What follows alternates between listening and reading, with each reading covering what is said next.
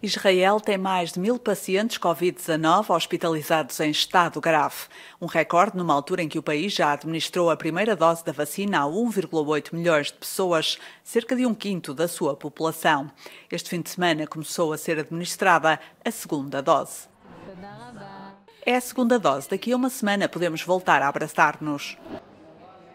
O primeiro carregamento de vacinas contra o novo coronavírus da Moderna chegou esta quinta-feira a Israel e o governo conseguiu um novo acordo com a Pfizer para receber vacinas suficientes nos próximos dois meses.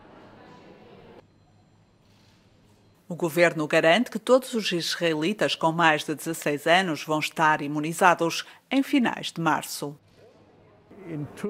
Dentro de dois ou três meses estaremos de volta à normalidade, à normalidade económica, social, cultural, à vida normal.